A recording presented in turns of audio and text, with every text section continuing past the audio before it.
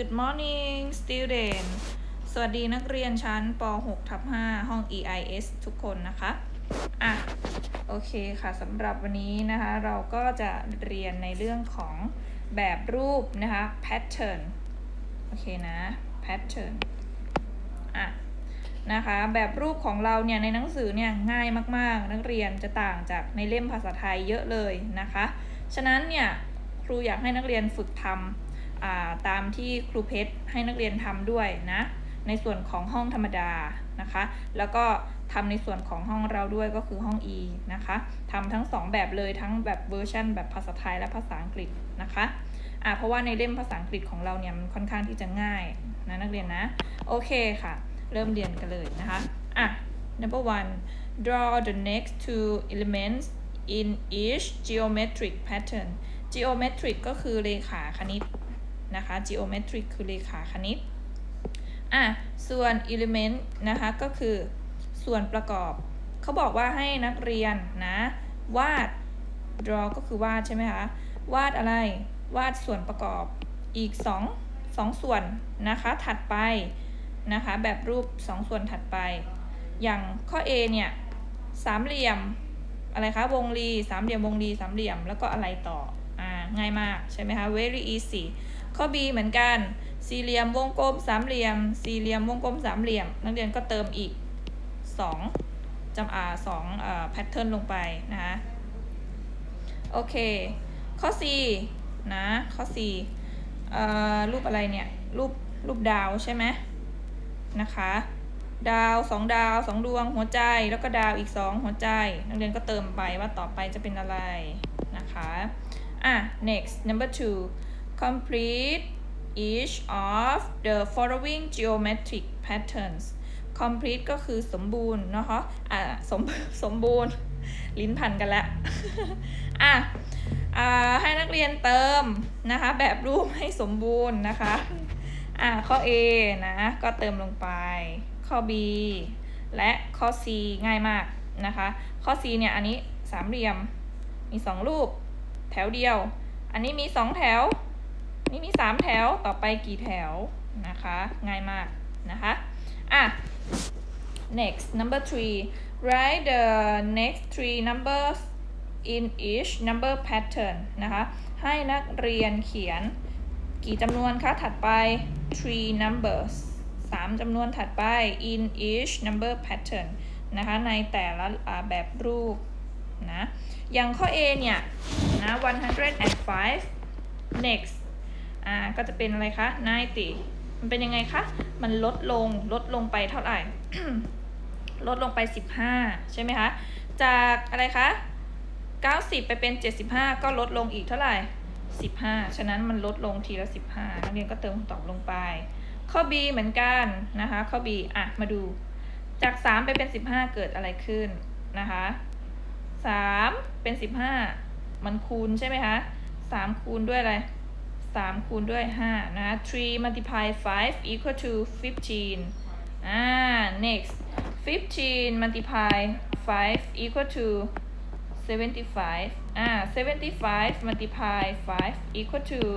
375 ใช่ไหมคะ ฉะนั้นนะคะ ตรงนี้ก็ต้องอะไรคะ multiply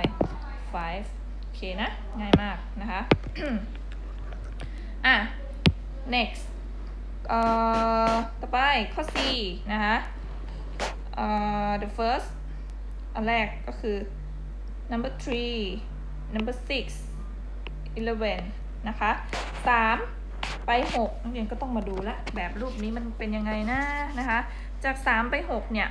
เอ่อมันห่างกันกี่แต้มคะ มันห่างกันเท่าไหร่สามใช่ไหมคะ มันเพิ่มไปสามมันบวกสามทีนี้จากหกไปสิบเอ็ดมันเพิ่มเท่าไหร่ มันเพิ่มไป 5 บวก 5 นะคะ plus 5อ่าแล้วก็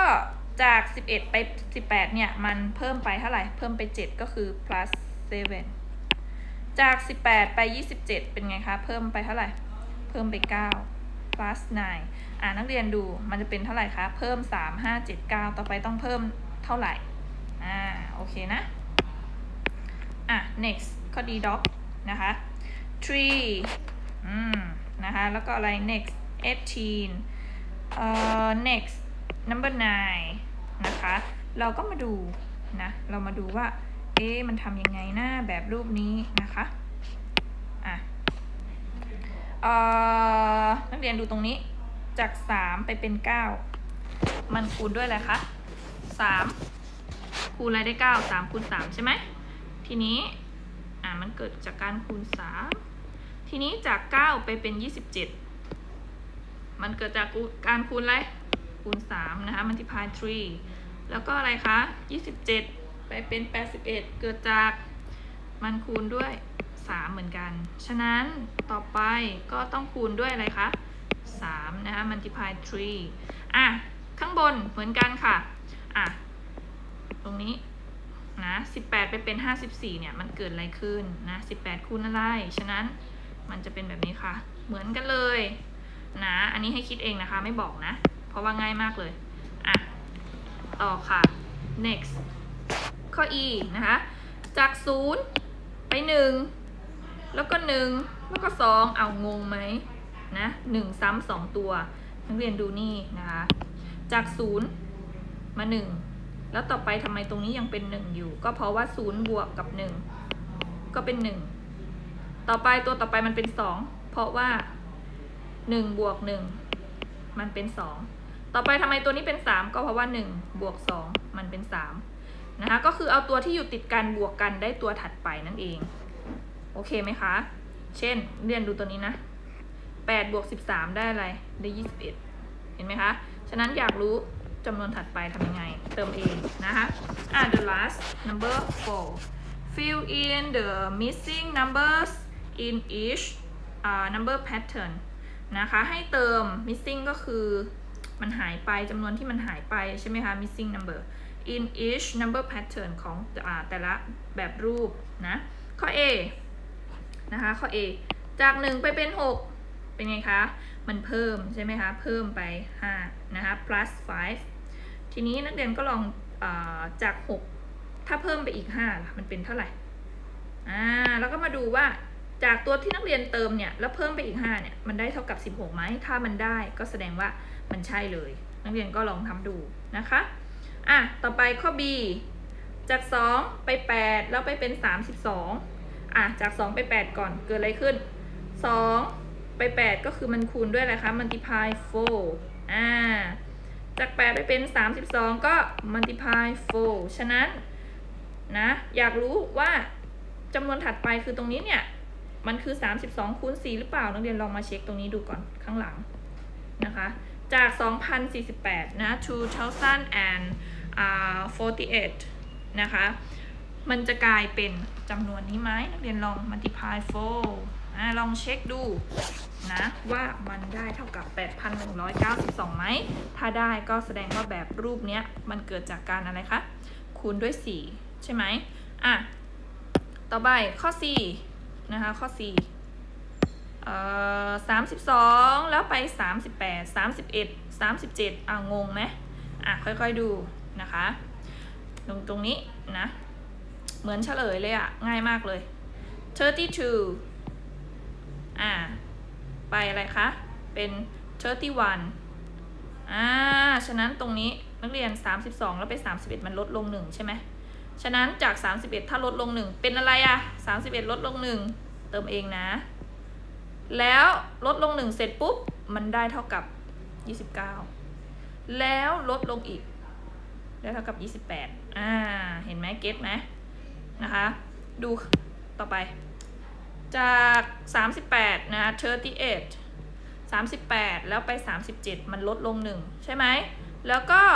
ข้ามมาที่ตรงนี้จาก 37 แล้วไป36 ก็ลดลง 1 เหมือนกัน ใช่ไหมอ่านะคะอะตรงนี้มันก็จะเหมือนกันค่ะเรียนก็เติมลงไปนะคะ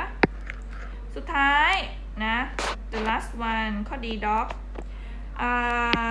จาก 1 ไป 2 จาก 2 ไป 4 จาก 4 ไป 7 1 ไป 2 เนี่ย มันเพิ่มเท่าไหร่ มันเพิ่ม 1 นะคะ plus 1 จากอ่า2ไป4 plus 2 ใช่ไหม จาก 4 ไป 7 plus